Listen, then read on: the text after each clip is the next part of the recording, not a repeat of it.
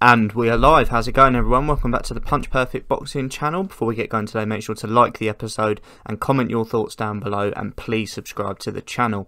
So, I'm going to be doing a bit of a, a welterweight episode today because there's been some news in the past couple of days, and you know, it's got me thinking about some possibilities for 2022. So, you know, I want to want to discuss some of them. And welterweight still remains the kind of glamour division in boxing it's always been heavyweight, but away from the, the glory days of the heavyweights, welterweight has kind of been the, the weight class to be in ever since. So, I'm going to talk about two bits of news that are kind of confirmed, and the rest I'm just really going to speculate on and, you know, provide some options and, you know, create a bit of discussion that you guys can get involved with and let me know your thoughts. So, the first bit of news is that the WBA have allowed um, Errol Spence and Yordenis Ugas to square off in probably March or April of this year on Fox pay per view. Um, this didn't look like the case originally. Ugas was denied the uh, the opportunity to take this fight. However, Stanionis, who is the WBA mandatory, has agreed to step aside, and not only step aside, which I'm sure he would have been paid handsomely for.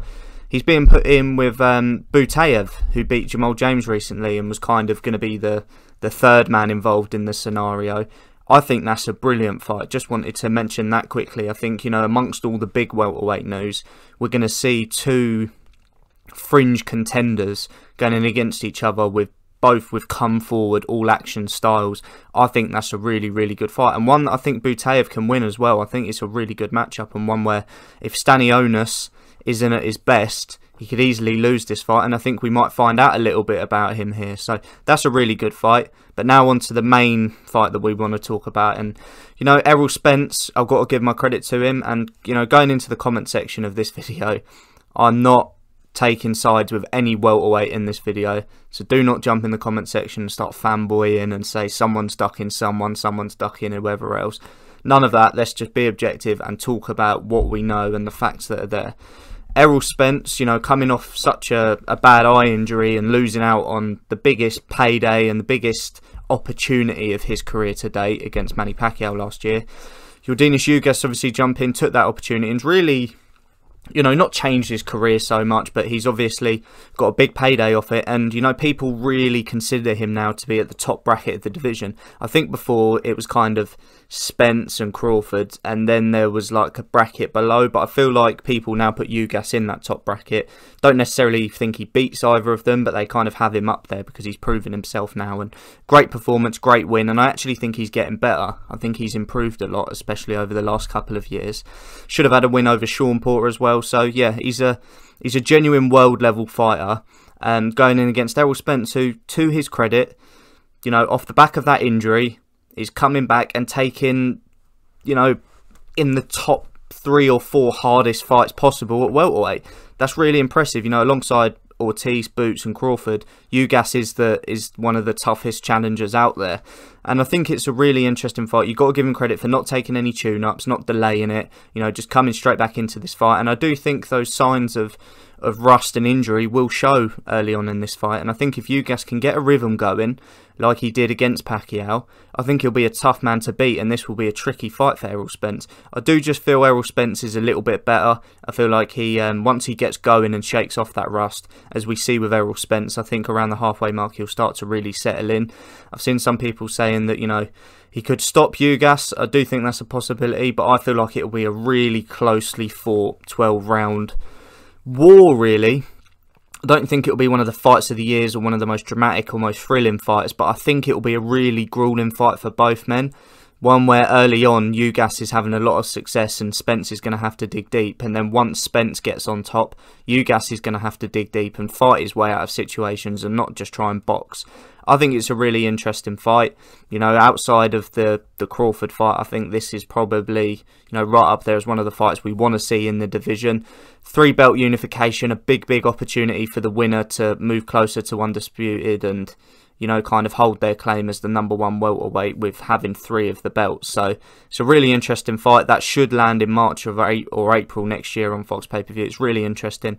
I want to hear your thoughts down below, guys, on how you see that fight going. Like I say, I lean towards Errol Spence, but I think it's going to be a lot closer than some people think, and I think it's going to be a, a hard 12 round fight. The other fight that has been mentioned um, and has been agreed by kind of both promotional teams and the WBO have approved it as a final eliminator, is Vergil Ortiz Jr. versus Michael McKinson.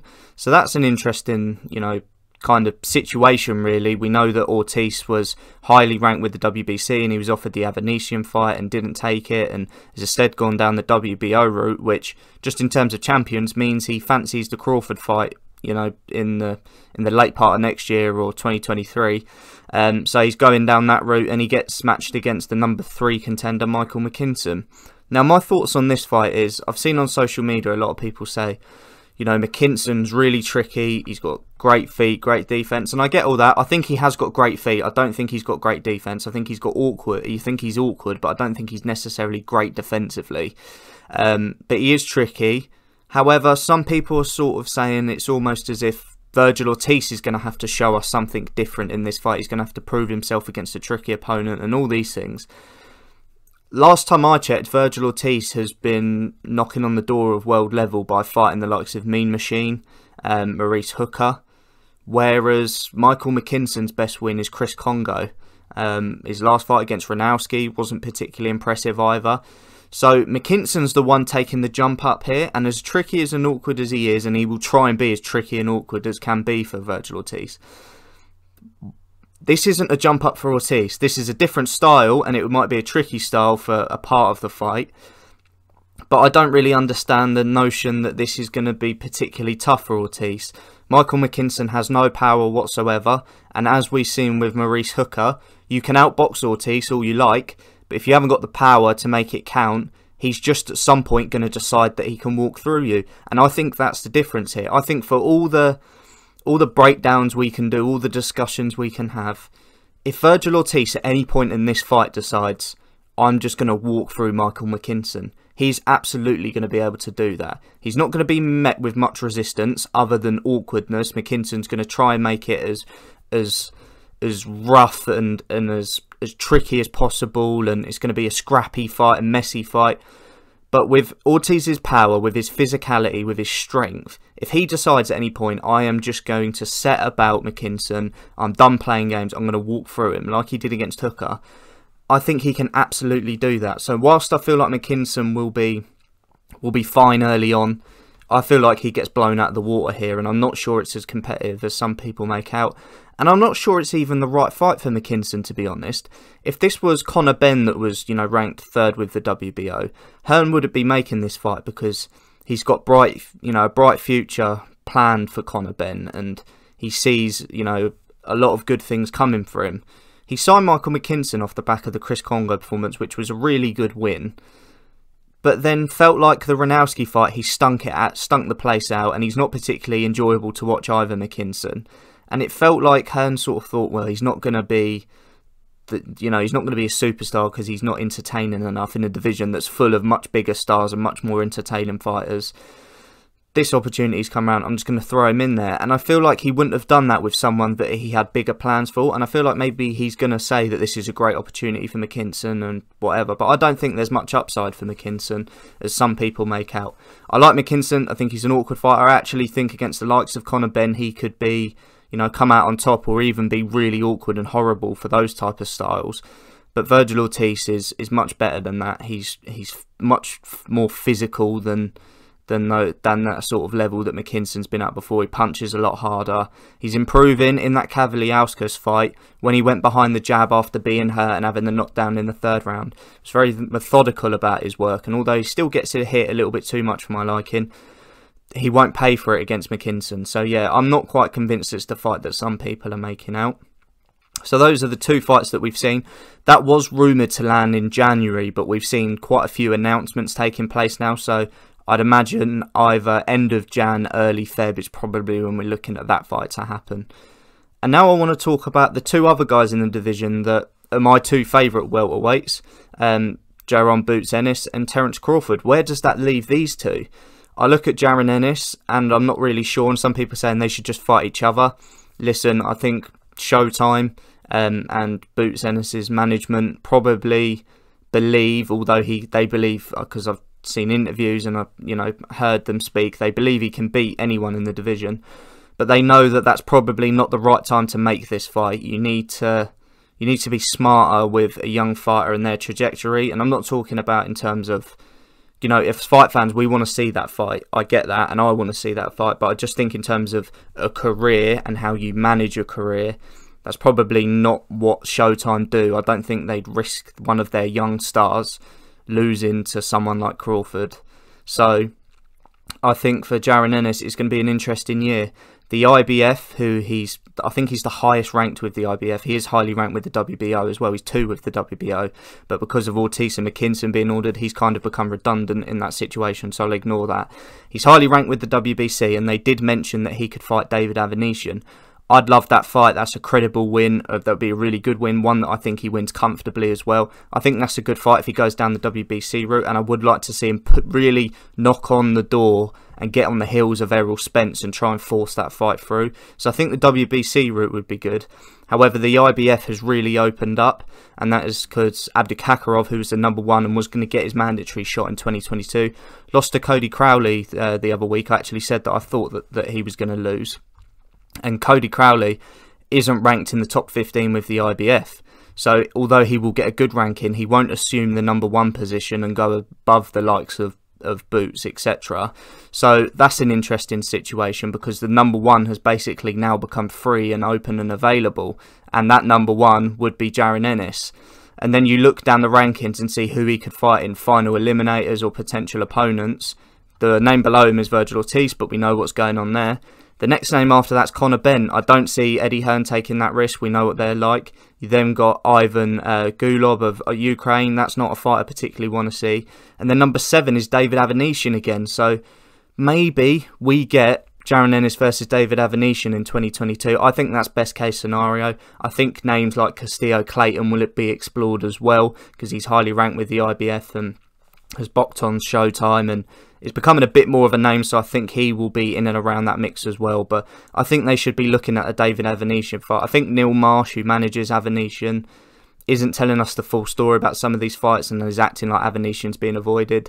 But he's not a name at all. And to Eddie's credit, although we want to see Conor Benn versus Avanesyan, he does have a point when he says that there are lesser names that can do more for his career and that's a shame because as fight fans, we shouldn't care about that. But from a business sense, and that's all Eddie and most promoters care about, you know, it's not always the, the best case for us fight fans. So I think the David Avanesyan fight, the IBF might order it, the WBC might order it. They need to have a look at that and see if we can get that fight because I think that's the, the best possible name that is realistic for Jaron Ennis. So I hope we see that. Um, the next person to talk about, who am I forgetting? Uh, Terence Crawford, obviously, for me, the, the number one welterweight in the world at the minute.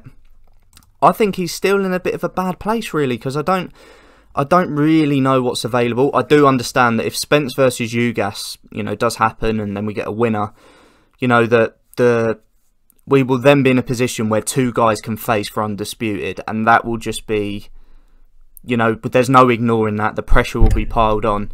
But Spence will have a long line of mandatories that he'll have to deal with. And although undisputed usually trump mandatories, it is going on a little bit now. So, you know, and if if Jaron Ennis is in a mandatory position at that stage, he'll be saying, "What about me? I want my opportunity." Um, so it will be interesting to see whether that can unfold. I think Vergil Ortiz will be knocking on the door of a mandatory for Crawford by the end of the year as well. I just look at Crawford and think the three agency thing is great now, but who does he necessarily fight? I think the names that are viable, if Keith Thurman gets a win over Mario Barrios in January when that fight is, you know, being tipped for, I do think that that becomes possible just because Thurman is a name, he's a former champion, and if he looks good, I think there'll be enough interest in it. I still think a lot of people will pick Crawford, but that's not a bad fight for PBC to to say to Crawford, look, loads of money, come fight on our platform. You get a big name like Thurman, and let's make, let's make this happen. We can go from there, and you can get the undisputed winner. So you know that yeah, the unified uh, winner between Ugas and Spence. So there's that sort of possibility that I see being feasible. But then I think they probably need to look at people that are free agents and potential names that they could get up there. One name that stands out for me is Regis Prograis. Again, I don't think he'll be the best at welterweight. I don't think he'll beat a Crawford, but it'll be a competitive fight and a credible opponent that they can look at. So yeah, I'm not really sure what what comes for Crawford, but it'll be interesting, and I hope he doesn't just wait around for an opportunity. I hope he stays busy. if Thurman fights in January, why not try and get that fight, you know, scheduled for the kind of middle part of the year, and then later in the year they look at the the Spence fight finally and try and get a deal done for that. Um, but yeah, that's kind of the route I see him going down. And I did just mention there Thurman versus Barrios. I didn't plan to talk about that, but it's just popped into my head. Um, I can't believe that's on pay per view. It's not a pay per view fight by any means. Um, however, I think it's an okay fight. I think with Thurman being out the ring for so long, anyone that has boxed near world level is a good enough opponent, really, considering how long he's been out. Um, but I don't really rate Mario Barrios. I didn't rate him before he fought Tank. I don't rate him after he fought Tank, and I don't particularly see what he's going to do at 147 either. But I think he's a credible enough opponent for Thurman to come back to.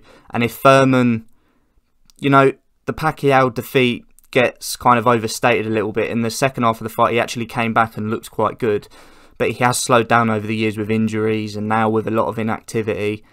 But I do still fancy him to win that fight. So I've been talking for about 16 minutes now. Let me know your thoughts down below, guys, on Spence Ugas, Ortiz versus McKinson, Thurman versus Barrios, and then let me know what you see being feasible for Boots Ennis and also Terence Crawford. Thanks for watching. Please subscribe to the channel. More videos coming. I'll catch you next time.